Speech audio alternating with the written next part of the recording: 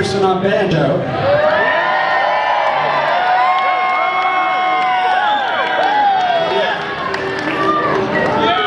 This was the fourth song I ever wrote.